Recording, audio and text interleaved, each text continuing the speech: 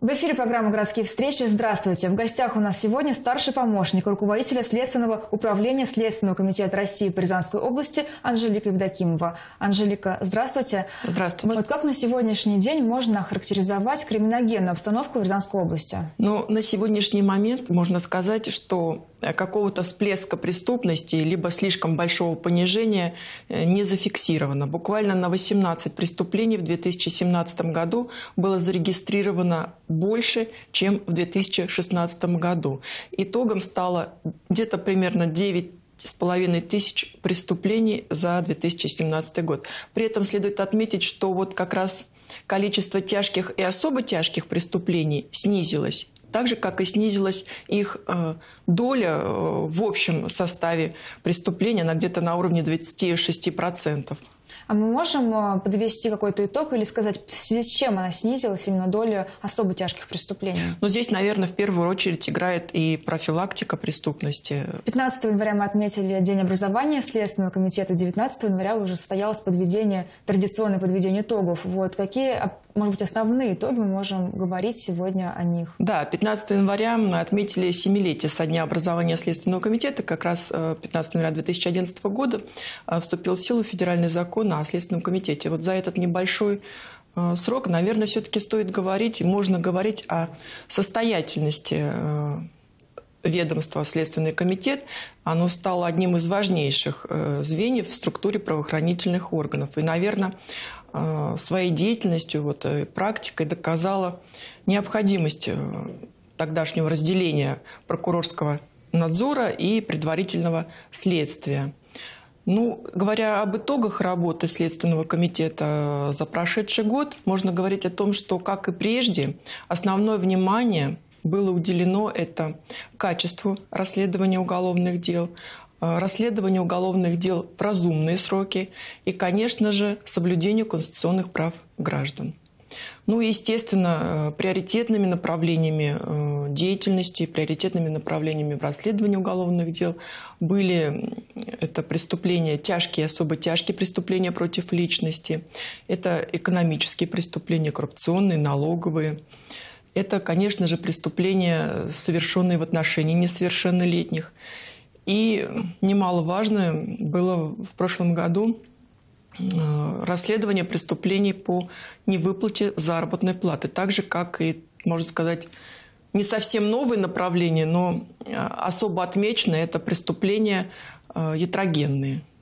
Что значит гетерогенные преступления? Они, по идее, сегодня у всех на слуху, но и не все о них знают. Что это за преступление? Проще говоря, это некачественное оказание медицинской помощи. Вот расследование таких уголовных дел поручается в нашем следственном управлении наиболее а, подготовленным следователем, потому что это, конечно же, очень достаточно сложные в расследовании уголовные дела. И у нас порой следователи настолько вникают э, в расследование такого рода уголовных дел, что могут уже как квалифицированные врачи даже кардиограмму расшифровать.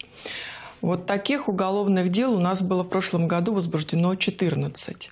Следует отметить, что Следственному комитету удалось э, как бы побороть противостояние сплоченного медицинского сообщества. И уже по ряду таких уголовных дел у нас есть обвинительные приговоры. А, а порядок таких уголовных дел сейчас находится в суде на рассмотрении. Вот, например, а, на рассмотрении суда находится уголовное дело в отношении врача-терапевта областной психиатрической больницы, которая фактически самоустранилась от лечения пациента, в результате чего мужчина скончался. Здесь было возбуждено уголовное дело по части 2 статьи 109. Это причинение смерти по неосторожности. Уже а, по этой статье уголовное дело было расследовано и направлено в суд. Сейчас находится на рассмотрении. Вот на сегодняшний день еще за преступлениями в сфере коррупции следит, наверное, ну, весь регион, особенно за самыми громкими. Изменения в уголовном законодательстве дало немножко у нас снижение конкретно нашей статистики по расследованию коррупционных дел. Вот если в прошлом году у нас было возбуждено, вернее, в 2016 году было возбуждено 107 уголовных дел коррупционной направленности, то в прошлом году, в 2017, таких дел было 60 60 6. Следует отметить, что в раскрытии расследования таких уголовных дел, конечно же, лепту вносят не только следователи Следственного комитета, здесь как раз взаимодействие всех э, правоохранительных органов, это и оперативные службы, это и органы прокуратуры, и, конечно же, и органы власти тоже помогают э, в изобличении своих недобросовестных сотрудников. Всегда на слуху преступления, совершенные несовершеннолетними лицами. Вот в этом году какова обстановка в этой сфере? Но в этом году несколько снизилась цифра. В производстве наших следователей было 94 уголовных дел, совершенных несовершеннолетними. Но, как правило, это а, грабежи, кражи, изредка убийства. Но, конечно, наиболее, наверное, незащищенными в данном случае являются дети, в отношении которых совершаются преступления. Вот таких уголовных дел более 130 находилось в производстве у наших следователей в 2017 году. А, конечно, расследование таких уголовных дел тоже поручается наиболее опытным сотрудникам, потому что это категория наиболее слабо защищенного нашего населения. Вот. Ну, одним из э, таких, наверное, наиболее резонансных примеров следует привести пример расследования уголовного дела, которое было возбуждено Касимовским межрайонным следственным отделом летом прошлого года по факту безвестного исчезновения несовершеннолетнего жителя Касимова, который находился под опекой у родственницы. В этом году мы также много говорили о предприятиях, которые не выплачивали заработную плату. Примером, наверное, может послужить Сосновый Бор санаторий. Вот в этой сфере как у нас обстоят дела? Сколько миллионов удалось возместить людям? Да, в прошлом году было возбуждено уголовное дело по факту невыплаты заработной платы порядка где-то 146 работникам санатория «Сосновый Бор». А, вот следует отметить, что в ходе расследования уголовного дела возместили уже задолженность, погасили задолженность по заработной плате где-то порядка 8 миллионов, и был наложен арест на имущество санатория где-то порядка 16 миллионов рублей. А, сейчас уже в отношении директора санатория вынесен обвинительный приговор, она была признана виновной, ей назначен штраф а, в размере 150 тысяч рублей. Вот э, расследование как раз фактов невыплаты заработной платы – это еще одно из приоритетных направлений деятельности Следственного комитета. И где-то порядка 19 уголовных дел было возбуждено в прошлом году у нас как раз именно по фактам невыплаты заработной платы. Это где-то примерно около 500 работников у нас оказались вот в такой ситуации, когда они получили заработную плату. Еще следует отметить, что вот как раз э, в когорте вот этих экономических э, преступлений приоритетным является и налоговое преступление. Тоже порядка 19 уголовных дел у нас было возбуждено в прошлом году. Также здесь, как и по невыплате заработной платы, основное направление – это возмещение ущерба. В 2017 году ущерб от преступления составил ну, чуть больше 90 миллионов рублей. При этом возместить в ходе предварительного расследования удалось практически э, ну, 100%, 76 миллионов. И вот в целях э, возмещения ущерба следователям используется и такая э, возможность, как наложение ареста – на имущество обвиняемых, подозреваемых обвиняемых. Анжелика, мы знаем, что следователи занимаются не только расследованием преступлений, но и их профилактикой. А что значит профилактика преступлений? Ну, согласно уголовно-процессуальному законодательству, в рамках расследования уголовного дела следователь в обязательном порядке, конечно же, вносит представление в орган, э, уполномоченный устранить выявленные следователем нарушения, которые способствовали совершению данного э, преступления. Это вот так вот законодательно. Но мы смотрим на это, конечно же, немного шире. Потому что профилактика преступности – это такое понятие более широкое. Ну вот, например, сегодняшние дети. Ведь от того, какими они вырастут, зависит наше с вами завтра. Вот в каком обществе мы с вами будем завтра жить. И будет ли оно криминогенным, либо более спокойным.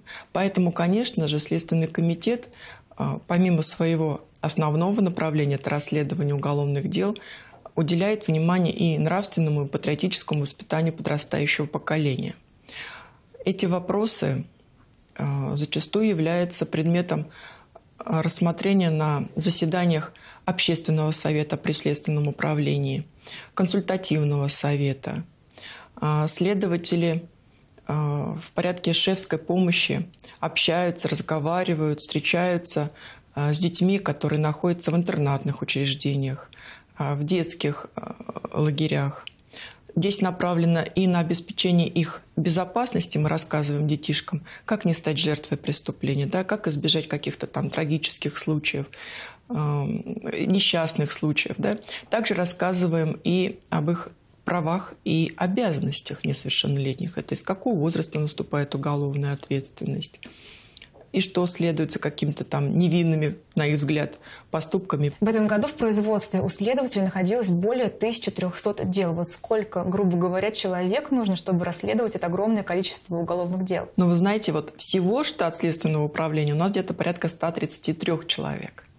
Это и штат аппарата Следственного управления, да, это какие-то технические сотрудники, это и делопроизводители. А следователей у нас где-то человек 50. Вот и разбейте 1300 уголовных дел на 50 человек. Какая нагрузка на каждого следователя. Но стоит отметить, что... Судя по итогам, справляются. Справляются достаточно успешно, поскольку по итогам 2017 года наше управление на протяжении практически всего года занимало где-то 13-14 место по России, где-то второе место по Центральному федеральному округу.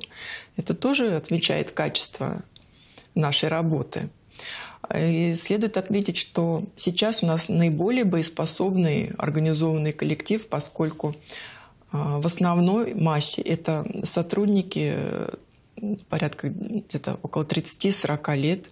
Стаж работы более 5 лет. Это наиболее подготовленные специалисты. У нас достаточно широко развита система подготовки следователей, молодого следователя, институт общественных помощников.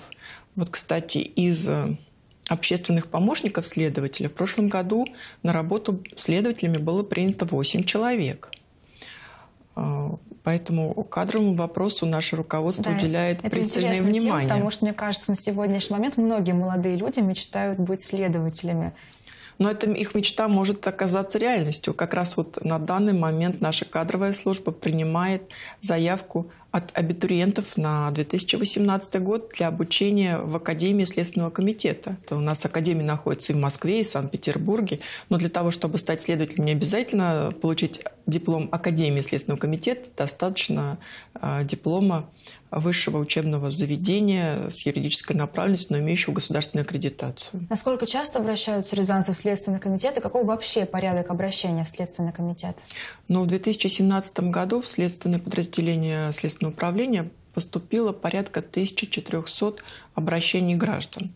Следует отметить, что обоснованными были признаны из них, и вот из этого большого количества, пять обращений удовлетворены. По большинству были даны какие-то разъяснения правового характера. Часть обращений э, были направлены по подведомственности в другие правоохранительные органы. Ну, обращаются граждане не только с письменными жалобами, заявлениями. А, порядка 700 человек были на личных приемах у руководства следственного управления, руководителей межрайонных следственных отделов – этому направлению уделяется тоже пристальное внимание, потому что непосредственно на приеме, глаза в глаза, как раз э, человек разрешает свои проблемы и видит, что отклик какой-то э, должностного лица. Помимо личных приемов и э, заявлений письменных у нас действуют телефоны доверия, номера телефонов указаны на сайтах Следственного управления. Действует приемная председателя Следственного комитета, интернет приемная. А также действует телефонная линия «Ребенок в опасности», где по короткому номеру 123 а, любой а, гражданин может сообщить о преступлении уже совершенном либо готовящемся в отношении несовершеннолетнего. Спасибо вам за беседу. Телезрителям напомню, что в гостях у нас сегодня была старший помощник руководителя Следственного управления Следственного комитета России по Рязанской области Анжелика Евдокимова. Спасибо за внимание и до новых встреч в эфире.